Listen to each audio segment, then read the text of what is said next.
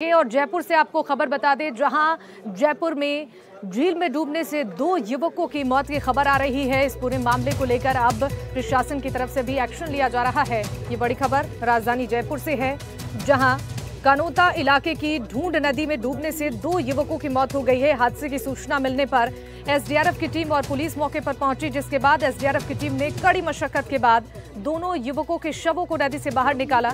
दरअसल आपको बता दें कि दोनों युवक ढूंढ नदी में नहाने के लिए गए थे, जिस दौरान ये हादसा हुआ। बताया जा रहा है कि दोनों मृतक कानोता के सागर, बिहार के रहने वाले हैं और दोनों के शवों को फ़िलहाल एसडीआरएफ की टीम ने कड़ी मशक्कत के बाद नदी से बाहर निकाला है। दरअसल ये दोनों भाई नहाने के लिए नदी में गए हुए थे।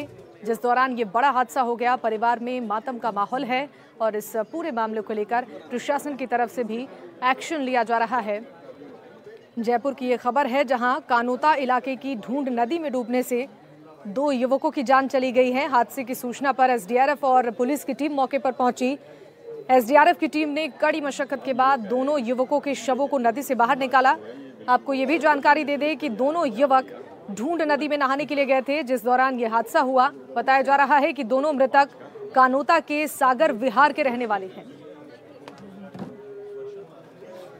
तो हादसे की सूचना मिलने के बाद एसडीआरएफ की टीम और पुलिस की टीम दोनों ही मौके पर पहुँची। कड़ी मशक्कत के बाद दोनों युवकों के शवों को बाहर निकाला गया है।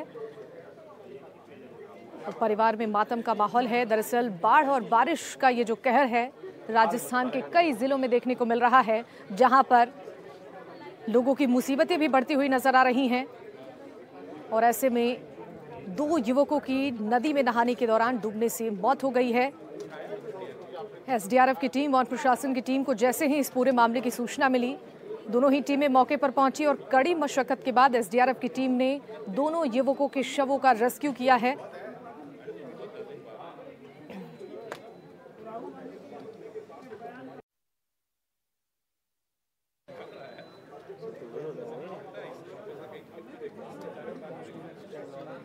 चलिए बढ़ते हैं अब खबरों पे आगे आपको बता दें